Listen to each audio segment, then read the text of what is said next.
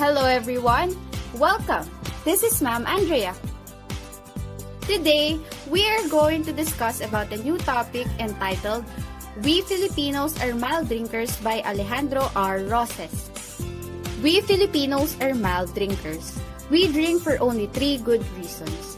We drink when we are very sad, we drink when we are very happy, and we drink for any other reason. Hi, I'm Joe. I'm an American soldier. That is the name given to us by Filipinos during World War II. I have drunk everything. Whiskey, rum, brandy, tequila, gin, champagne, sake, vodka. I don't only drink a lot, I drink everything. I am a Filipino farmer.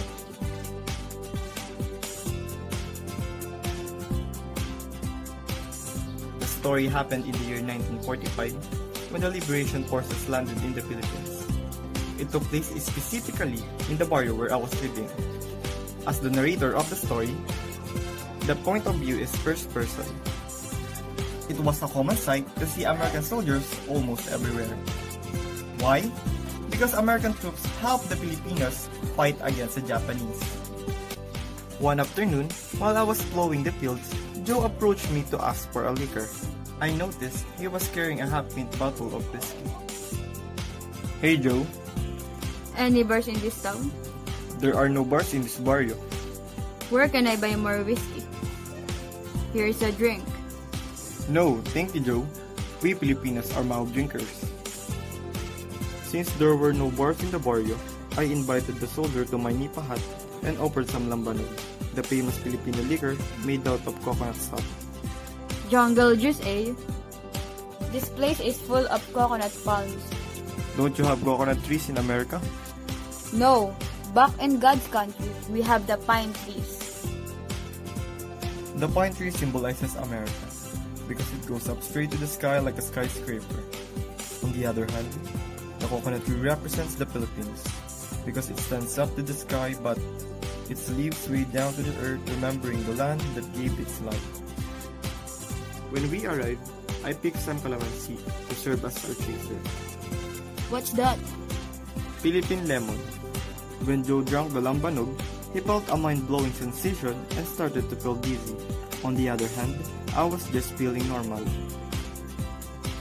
When Joe got drunk, he thought I was a Japanese soldier and my mother who walked into the house was mistaken as a geisha.